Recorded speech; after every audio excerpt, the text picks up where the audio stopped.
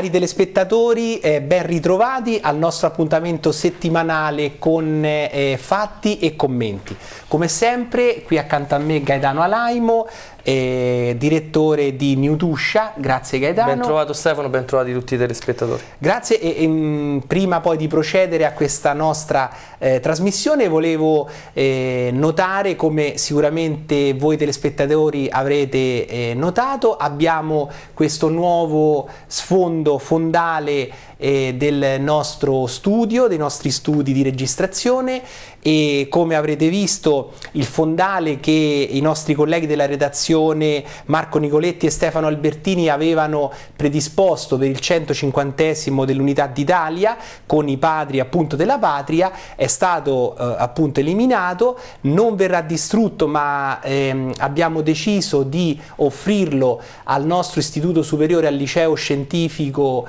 eh, Don Delfo Gioacchini di Orte che sicuramente lo oh, installerà presso un'aula appunto dell'istituto stesso. E quindi ecco come potete vedere ora diamo, inauguriamo con questa nostra eh, puntata di oggi questo nostro fondale. Grazie ancora a Marco Nicoletti e Stefano Albertini. Abbiamo oggi come ospite il segretario eh, generale della funzione pubblica della CISLE Mario Malerba. Grazie a voi della presenza di avermi invitato. Sono contento di tornare un'altra volta qui. Bene, bene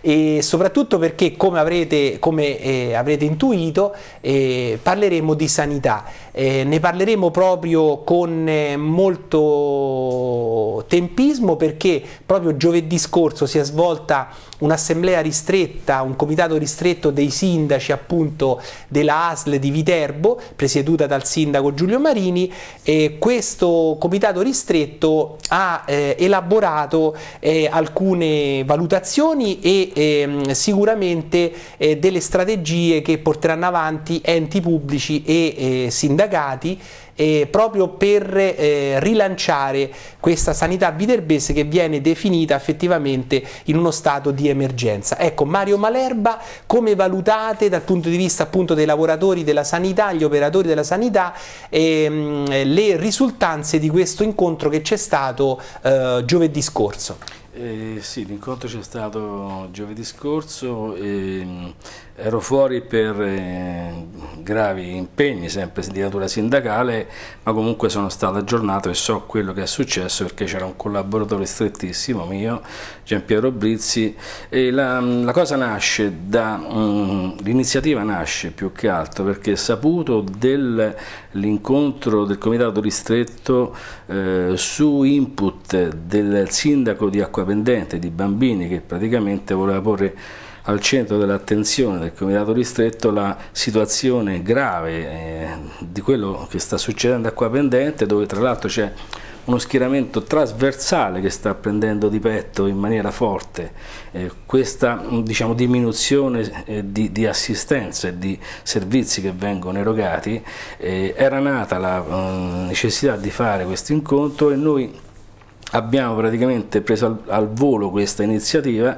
ci siamo presentati per mettere al centro dell'attenzione anche altre situazioni e eh, la più grave di tutti, quella che ci sembra la più eh, degna di, di, attenzione è quella del mancato pagamento e a rischio anche di posti di lavoro del gruppo Rori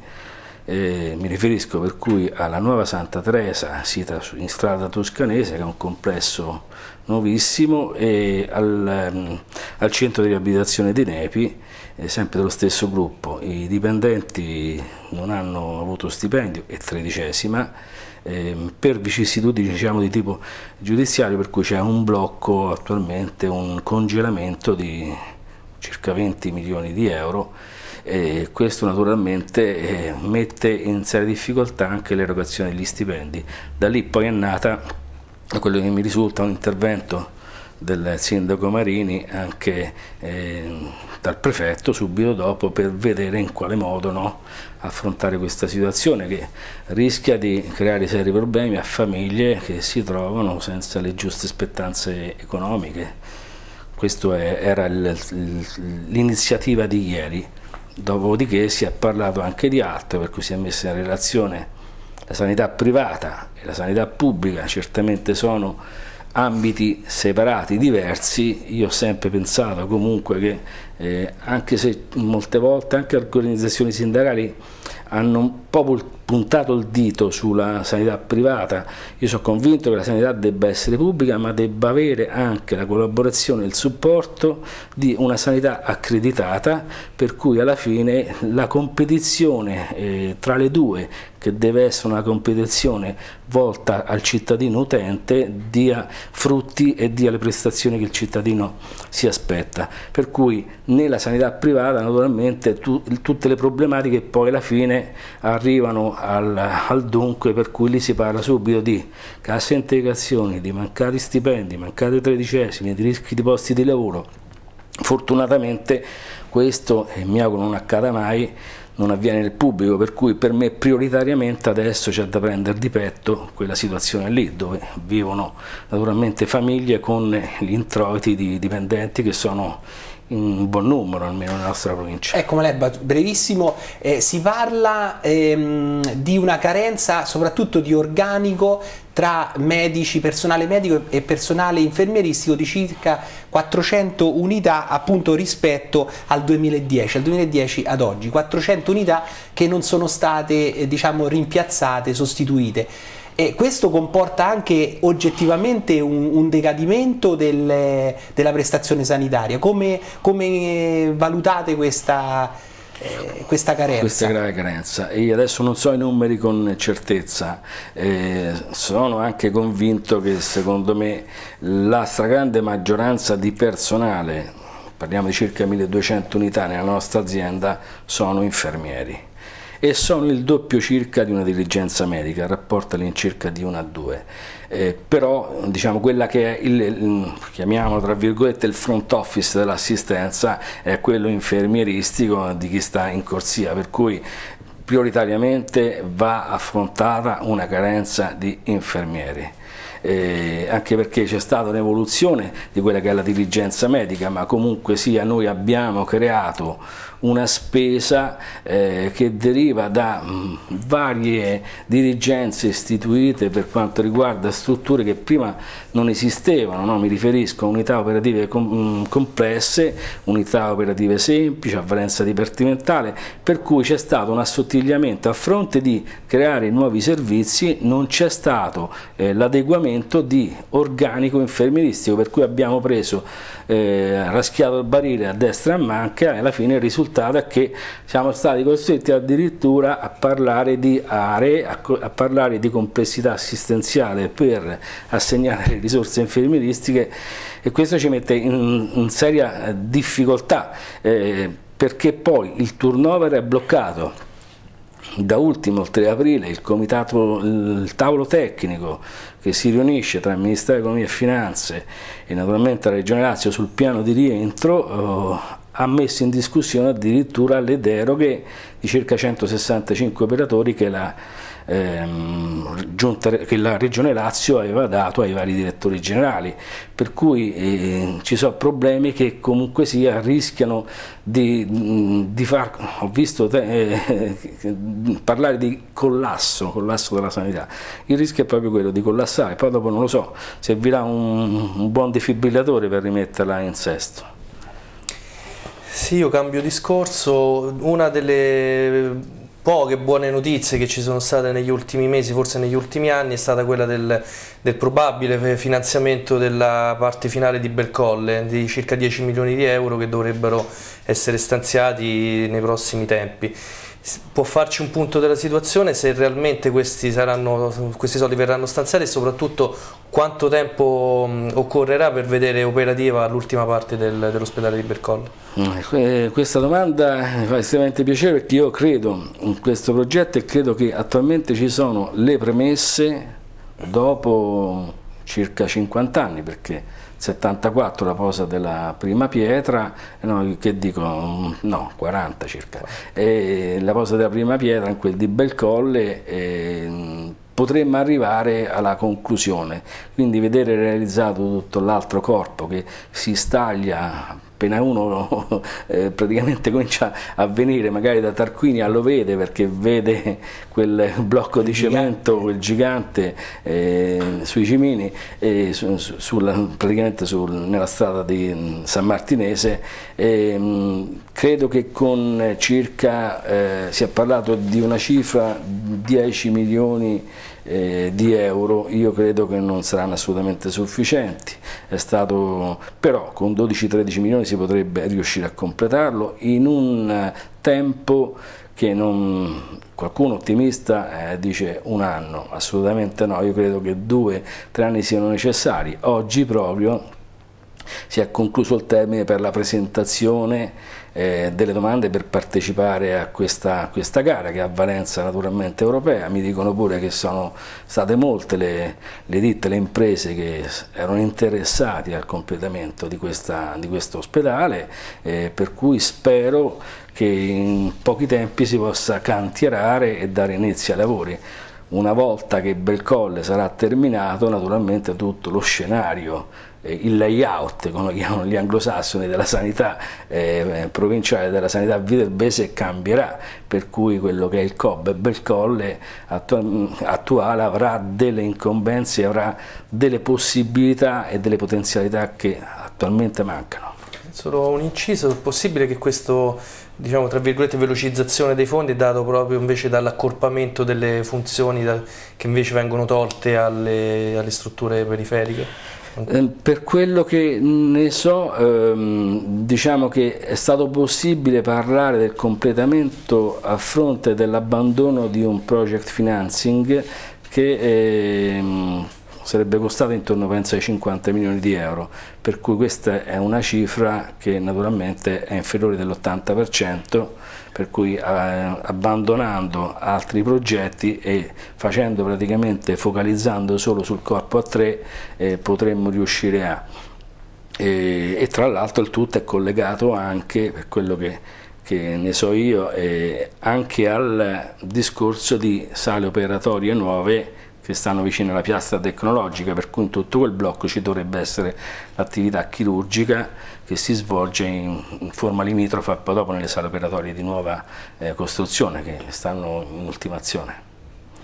Sì, ecco io volevo ritornare un pochino sul discorso eh, delle cosiddette macro aree Vale a dire, eh, ricordo che mh, quantomeno diciamo, eh, qualche mese fa ne parlammo insieme proprio perché eh, questo marchingegno, chiamiamolo, questo stratagemma delle macro aree ha portato poi a una programmazione diciamo, sanitaria eh, che eh, è sotto gli occhi di tutti ecco, in, in, questo senso. Ecco, ci vuole un po' parlare di come eh, il principio delle macro aree eh, concepito dalla Regione Lazio per razionalizzare la spesa e, e i servizi sanitari siano state attuate ecco, ad oggi? Ma io non ho visto attuazione e neanche sento tanto la mancanza comunque della macro area perché eh, la macro area deve nascere da vincoli e da requisiti diciamo, condivisi con tutte le aziende, sia esse ospedaliere che sanitarie, con le popolazioni, con i, partiti, con le organizzazioni sindacali, con le associazioni che naturalmente seguono i, i vari pazienti che, che, hanno necessità, per cui mh, sono state fatte eh, macro aree anche in altre regioni, ci sono esperienze eh, chiamate diversamente, in Toscana le chiamano le aree vaste, recentemente mi dicono anche in Piemonte, però se il tutto è collegato esclusivamente a un eh, discorso di vasi comunicanti per cui poi i posti letto come densità nostra che è più bassa devono con la macro area andare a compensare quelli più alti della zona eh, romana e, e dintorni significa che non c'è assolutamente significato. In maniera mh, virtuale la vedo la macro area come la, diciamo, la compenetrazione di, di varie aziende che ne fanno parte e che collaborano tra di loro. Faccio un esempio, eh, forse non so, anche l'altra volta feci lo stesso, ma se a, Citave, eh, se a Tarquinia si fa un intervento per cui necessiti sangue, non è assolutamente il caso che parta la macchina, venga a Viterbo a prendere il flacone di sangue al servizio immunomatologico, porti giù. Va direttamente a Civitavecchia per cui quel paziente potrà usufruire di quel servizio magari in 10 minuti anziché in un'ora. Questo dovrebbe essere il concetto che io condivido di, di Macurara, collaborazione tra le varie aziende, non assolutamente arrivare a una super azienda che poi concentri tutte queste attività sanitarie svolte da aziende ospedaliere e aziende sanitarie locali insieme, questo sarebbe secondo me una iattura. Sì, brevissimo, un riferimento alle strutture DEA come, come vengono valutate e soprattutto cosa, cosa sono e... certamente. E questa è una, una, una, nota dolente perché io ricordo dei manifesti della Presidente Polverini mh, mm, sui muri de, della città eh, oltre un anno fa in cui si eh, reclamizzava a voce alta che finalmente il DEA di secondo livello negli ospedali delle aziende unità sanitarie locali delle province. Noi non abbiamo un DEA di secondo livello. Scusa, DEA Dipartimento... Dipartimento Emergenza Attrazione di secondo livello, eh. che significa avere un salto di qualità, perché il DEA di secondo livello raggruppa in sé delle specialistiche che non c'è naturalmente il DEA di primo livello, per cui dà un'attività polispecialistica a quella ospedaliera. Eh, questa ancora non è così come l'altro punto dolente è che se, avessimo, se, se fosse stato un, uno strumento proprio per eh, recuperare eh, una spesa e per dare ottimizzazione alla spesa latte aziendale, dobbiamo purtroppo dire che ancora oggi la Regione non ci ha detto nulla sugli atti aziendali, non solo sul nostro, che è stato presentato nei tempi corretti, ma qui continuamente eh, si rimanda e si rimanda per cui nessuna azienda del Lazio è dotata di uno strumento che comunque previsto per legge dovrebbe consentire al direttore generale e ai due direttori che l'affiancano di governare la spesa e le risorse che ha.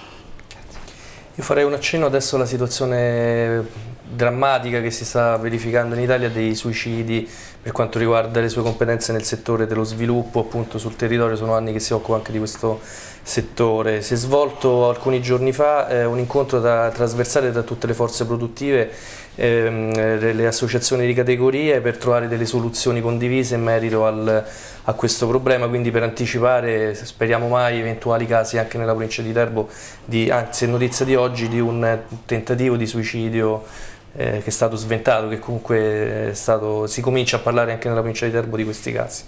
C'è stato anche l'incontro di, di un'industria qualche giorno fa, è intervenuto anche il ministro Passera se non mi sbaglio, quindi il tema è di quelli scottanti. Qual è il suo punto di vista e soprattutto cosa si sta facendo concretamente nella provincia di Terbo? Il, um, io parlo adesso dal punto di vista personale perché è un argomento talmente di carattere generale che coglie poi tutti gli aspetti del, del lavoro, ma la situazione è estremamente preoccupante perché lavoro mh, non ce n'è,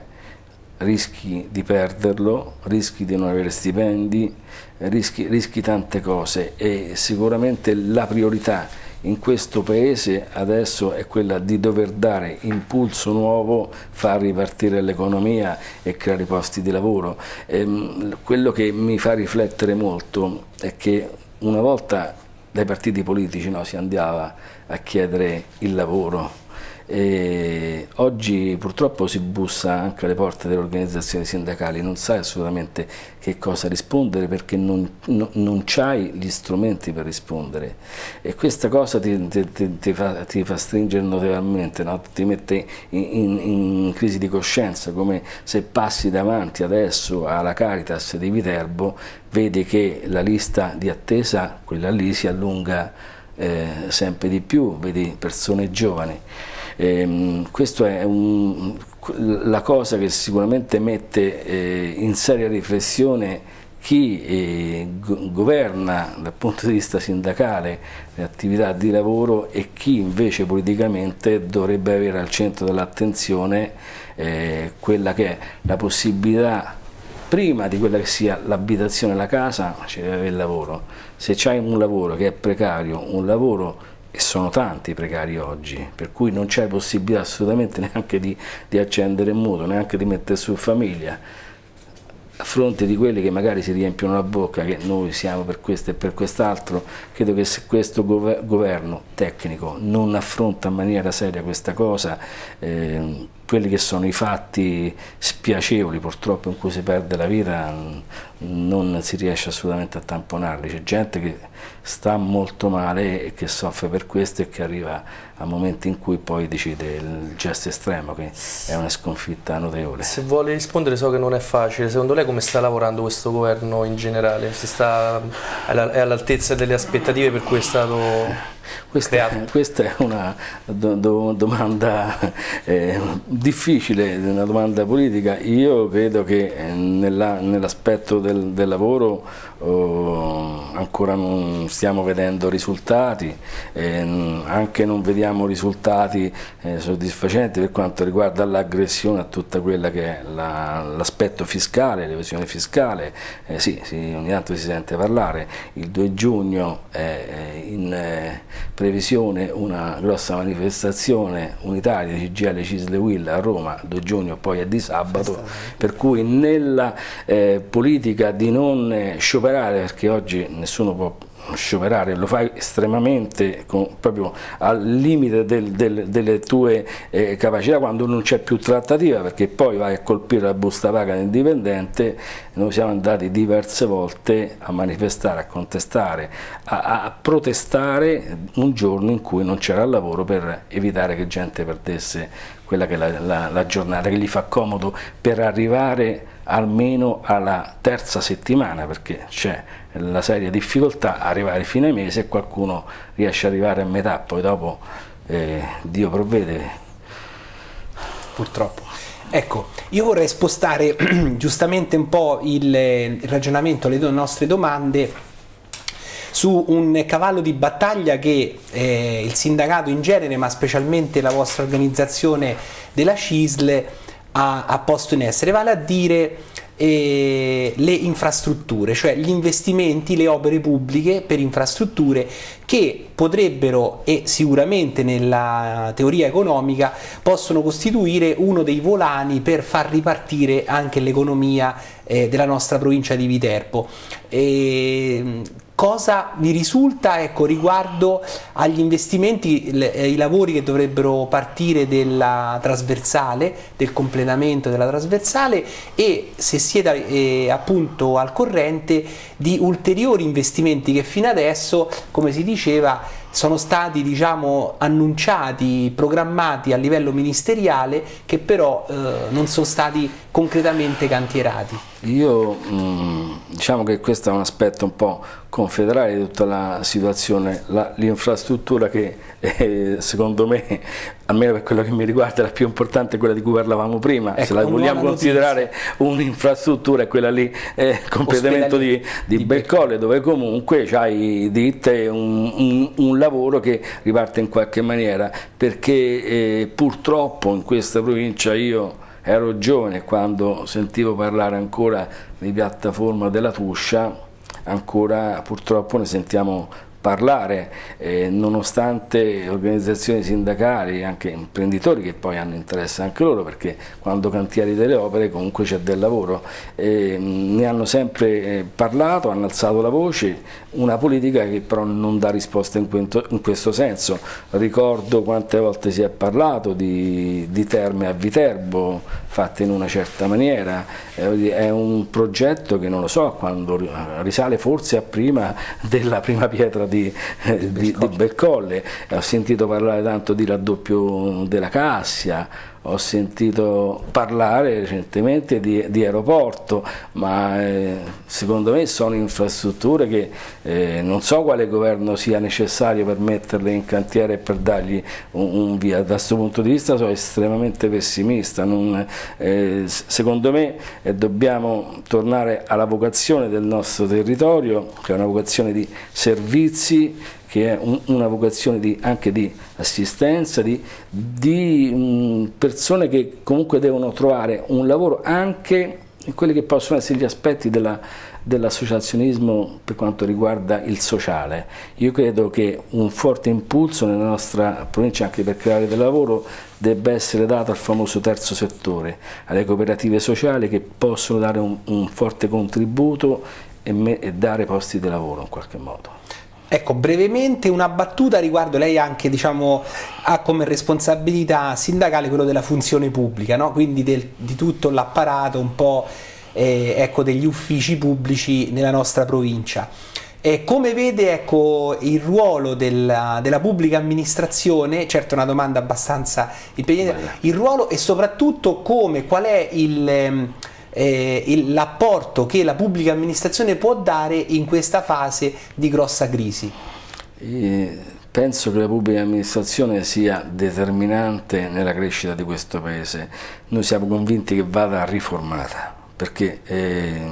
ci sono delle, delle, lacune, ci sono delle carenze, c'è del personale che forse deve essere ancora eh, formato in maniera eh, diciamo, um, superiore a quello che, ad, che, adesso, diciamo pure che però questa eh, pubblica amministrazione, non solo da noi, a livello nazionale, si è ridotta in maniera drastica, prima abbiamo parlato di infermieri, ma la stessa cosa succede nei comuni, nelle autonomie locali, in, in tutto e per tutto, nei ministeri, nello Stato, negli enti di previdenza, per cui noi non ci sottrarremo mai a un confronto serio con questo governo, ma come anche i precedenti e i futuri, per migliorare le condizioni sia del dipendente pubblico che debba dare però risposte verificabili,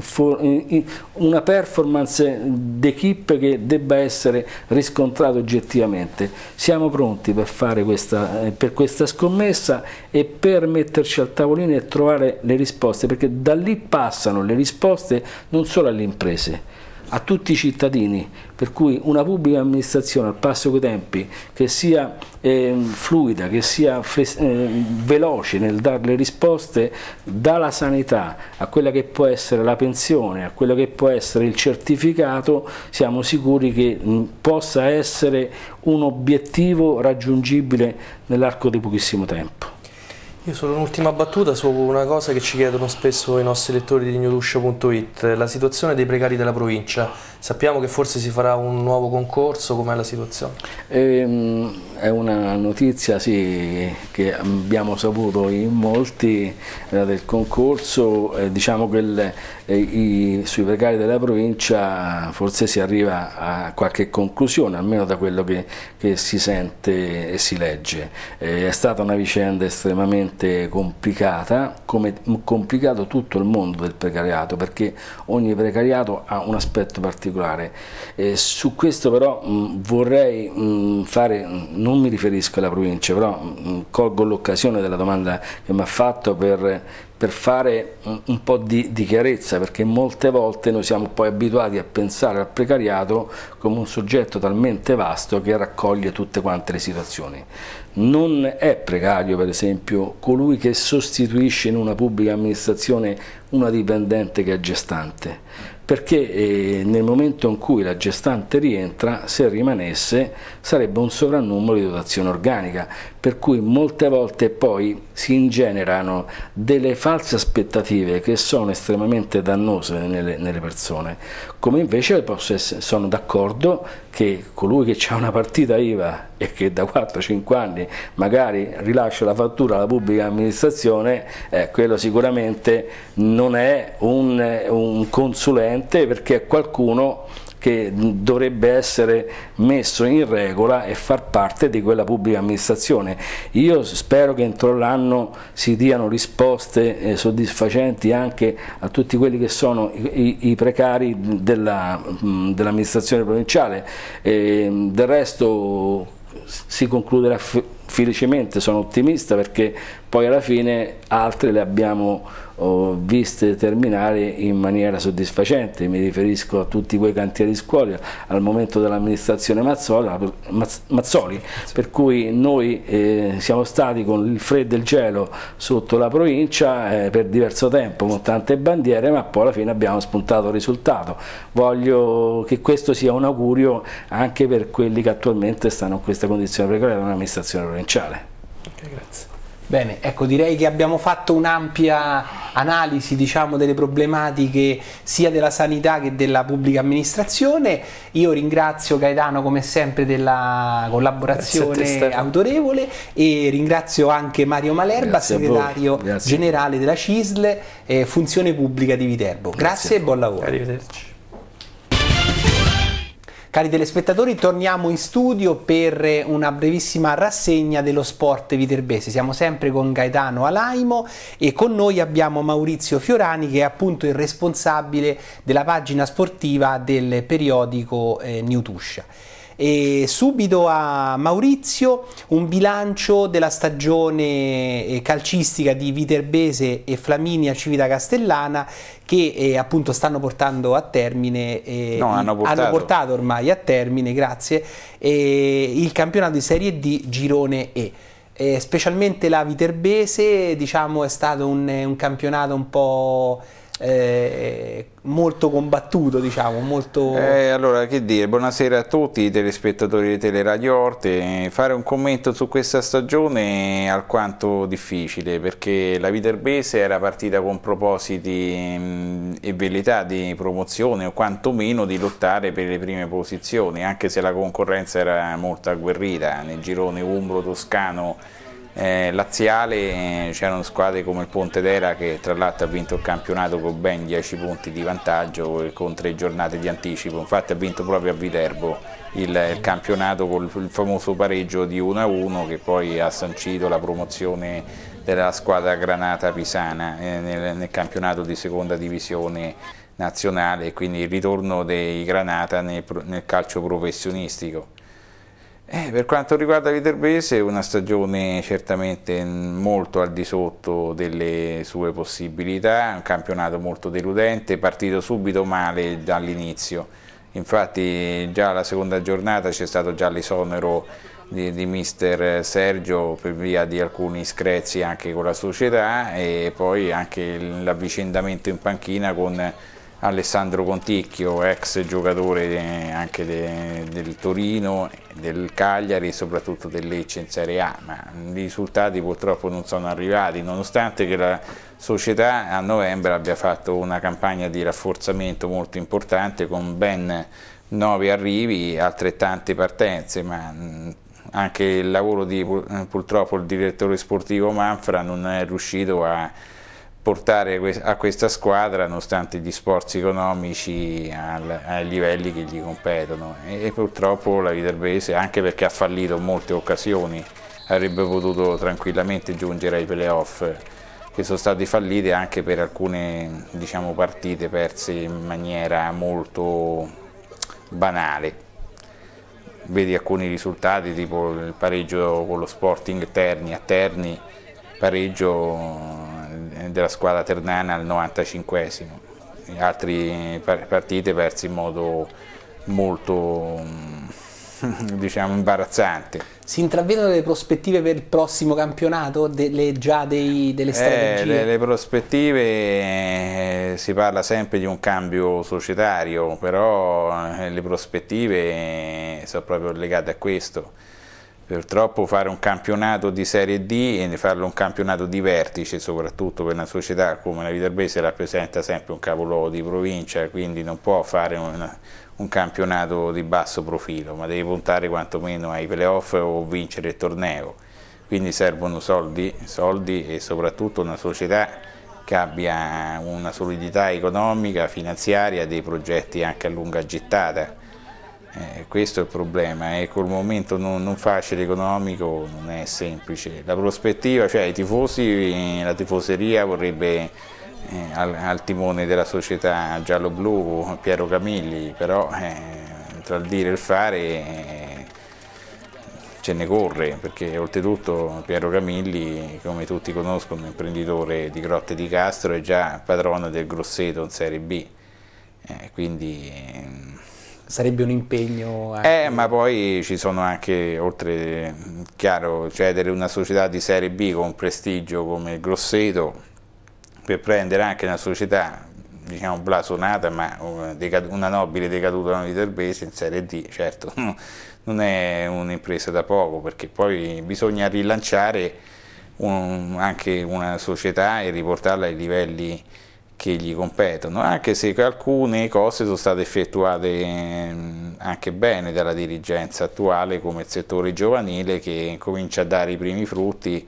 e a lanciare anche giovani in prima squadra. Del Flaminia Civita Castellana, la brevissimamente? Allora, la Flaminia possiamo dire che invece ha fatto il cammino inverso della Viterbese perché la situazione era molto difficile in quanto la, eh, Mister Puccica ha rilevato una squadra che era appena ultima con 5 punti in classifica. Ha esordito proprio la, in trasferta contro proprio il Ponte d'Era perdendo 2 a 1 Suben è subentrato a, Pie a mister Pietrangeli. Però eh, da quel momento in poi in circa mh, 28 partite se non erro circa 28-27 partite ha collezionato 40 punti 39 punti per l'esattezza, raggiungendo quota 44 e ha permesso a questa compagine anche che, um, di raggiungere una salvezza senza ricorrere alla lotteria dei play-out, che è sempre un rischio poi a fine stagione fare gli spareggi per non retrocedere. Un buon lavoro con una squadra che ha valorizzato molti giovani, un lavoro fatto da un mister che è molto preparato come mister Puccica che non, in provincia di Viterbo molto conosciuto, ha esperienze di C1, ha allenato squadre come la Viterbese, in primis la Fermana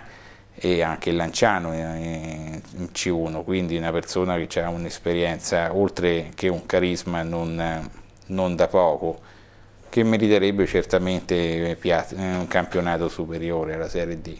Sempre per il calcio, una battuta siamo ad Orte, l'Ortana, eh, anche qui. Eh, L'Ortana purtroppo note dolenti perché anche l'Ortana è nelle zone bassissime di classifica, quindi non, non ce l'ha fatta penso a salvarsi perché purtroppo il campionato di promozione Umbro è un peccato perché tutto il calcio viterbese purtroppo ha avuto un'involuzione in questi ultimi anni pazzesca, dal fallimento della Viterbese nel 2004, da quando la vecchia USV Viterbese è fallita, dalla C1 è iniziata proprio la decadenza non solo del, della Viterbese in quanto compagine calcistica del capoluogo, ma proprio anche delle, a ruota anche del calcio provinciale,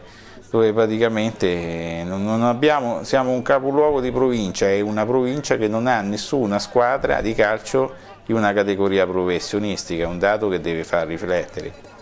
Eh, quindi è indice anche di, oltre di crisi economica, anche forse di, di alcune lacune anche penso societarie, perché una città a capoluogo di provincia cioè, dovrebbe aspirare almeno un campionato professionistico, almeno non dico di altissimo di livello, ma almeno di una seconda divisione, cioè un ex C2 sì. Bene, Gaetano. Ma io evito di fare domande a un amico prima che un collaboratore a Maurizio, farei proprio una battuta personale sul discorso della gestione societaria. Si parla spesso di Piero Camilli sì, Piero Camilli no. Secondo me il problema non è Piero Camilli sì, Piero Camilli no, ma è proprio una gestione eh, che miri in alto. Forse è mancato una gestione continuativa, poi Maurizio mi potrà smentire perché non sono chiaramente esperto di sport però questa frammentazione di cambi di squadre, se non mi sbaglio che ha cambiato quasi completamente la rosa, e progetti che non partono da lontano poi si è dimostrato che non vanno poi lontano quindi speriamo che chiunque prenda in mano la Viterbese ah. eh, poi direi spezzare una lancia pure a favore di Fiaschetti che è il nuovo presidente dell'Interporto tra l'altro da poco tempo che ha avuto una grande capacità gestionale perché è riuscita innanzitutto a sanare i debiti della società e a riportare la, la Viterbese quindi a essere tranquilla da un punto di vista dei controlli eccetera. Quindi quello è stato il primo aspetto. Purtroppo è stato anche molto sfortunato. Quindi un presidente molto valido che bisogna lodare per quanto riguarda le capacità di management non colto dalla fortuna. Speriamo che adesso ci sia un cambiamento sia che venga Camilli sia che si continui con l'attuale o con nuove gestioni solo questo. Bene, grazie anche di questa tua notazione. Io passerei al basket eh, la Belli CGT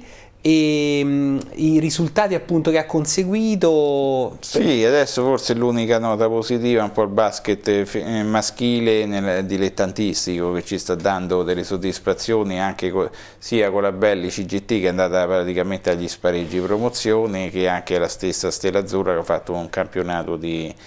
maschile di Serie C è, è abbastanza valido. Sono state forse le uniche note positive di, di questa stagione perché effettivamente Viterbo Città dello Sport non, ecco, quest'anno purtroppo non è, non è decollata, mi auguro che in futuro ci sia un cambio di rotta o quantomeno si intraveda in futuro anche la possibilità di far crescere il movimento sportivo a Viterbo e provincia, anche se c'è un deficit infrastrutturale non, non da poco, anche questo ci penalizza perché non avendo molte strutture sportive mancando anche mh, diciamo,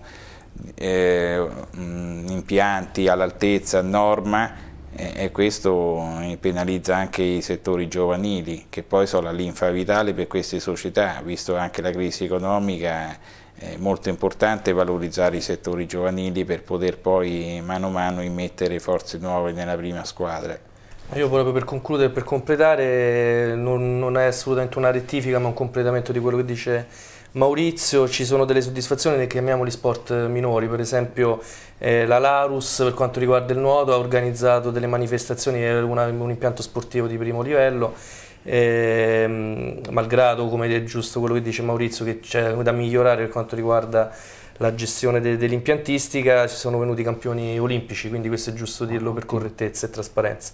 Poi per esempio ricorderei, visto che siamo ad Orte, gli arcieri campioni d'Italia che hanno portato sicuramente, è uno sport gratis. non conosciuto come può essere il calcio o il basket, ma è giusto dirlo. Poi ci sono, non sono esperto di sport, alcuni esponenti eh, dei ciclisti, un, un, un, atleta di sì. e anche altri che partecipano Balloni, Balloni. Al, giro, al Giro d'Italia, quindi e altre persone che mi, che mi scordo solamente se, essendo sport non noti come il calcio, spesso non vanno all'onore delle cronache, però si sta lavorando abbastanza bene da questo punto di vista. Bene, ecco, con questa nota e conclusiva noi ringraziamo eh, Maurizio Fiorani, come sempre molto eh, preciso anche dalle pagine appunto di Newtuscia, ringraziamo anche come sempre Gaetano Alaimo grazie a te, e grazie ai telespettatori per eh, la loro attenzione. Arrivederci. Arrivederci. Arrivederci. Música